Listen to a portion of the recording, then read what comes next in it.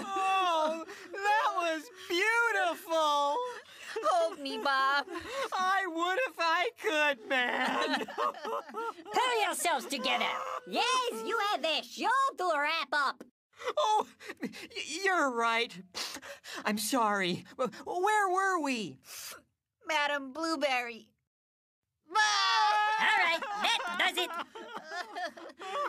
Cue the music. Unless, of course, you have any objections.